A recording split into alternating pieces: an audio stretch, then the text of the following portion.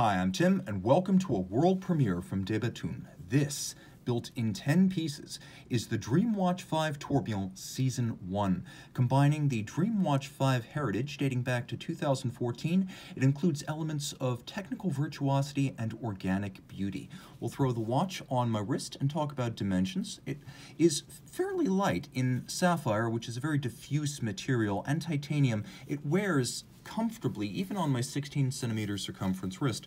Uh, throwing it on my forearm, you can see its dimensions are 58 millimeters from tip to tip. It's actually just over 60 if you include the crown. It's 17 millimeters thick, and then from side to side, 47 millimeters wide, although it's best to describe the watch as effectively the same as wearing a 43 millimeter round watch, because it wears long down the wrist rather than exceptionally broad across the wrist.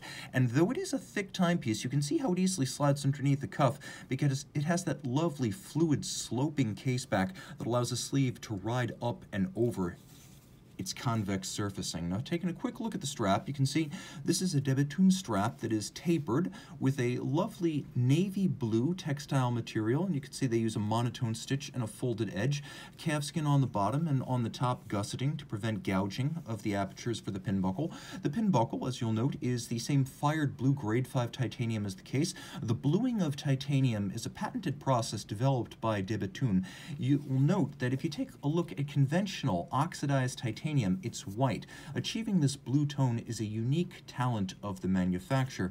Now you can see on the underside that we have pivots for the strap on both sides, but you can also see one of the technical highlights of the watch, the De Bethune Tourbillon. Beating away at 36,000 vibrations per hour, it makes 30 second circuits, twice the speed of a conventional wristwatch tourbillon. Now, that is a patented assembly as we have the company's unique titanium and white gold patent balance. We have a silicon escape wheel for minimal friction. We have a two-element hand-formed flat hairspring that breathes concentrically the way a overcoil would, but without the thickness and shock susceptibility of the overcoil.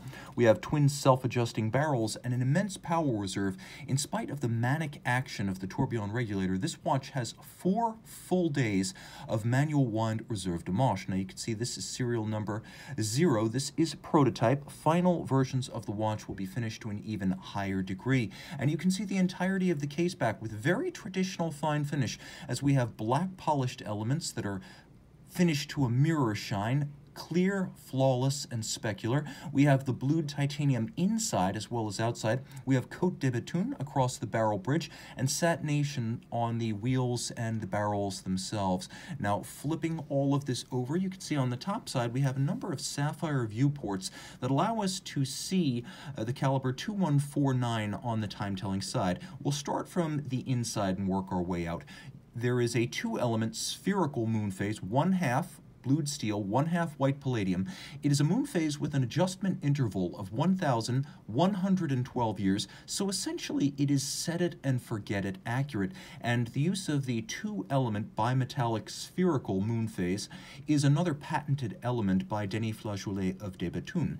You can see the watch also features a digital minutes display similar to the DB28 Digital, and as I adjust, the minutes scroll and the hours jump, and it's precise, dynamic, and beguiling. It's fun to simply set this watch and witness the action of the movement.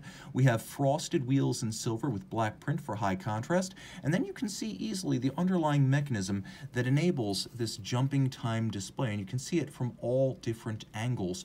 Rolling over to the flank of the case, you can see we have a cabochon style crown that is itself fit with a cabochon. This is blue sapphire, the real thing, not synthetic sapphires as you'll find in a watch, but the genuine article, and it's completely rounded and domed in profile with a handsome and sharp knurling about the crown that makes it a pleasure to operate the watch. Now there is a quick set for the spherical moon phase display, so you can rapidly adjust it, and then, as I said, once it is done, you can essentially set it and forget it.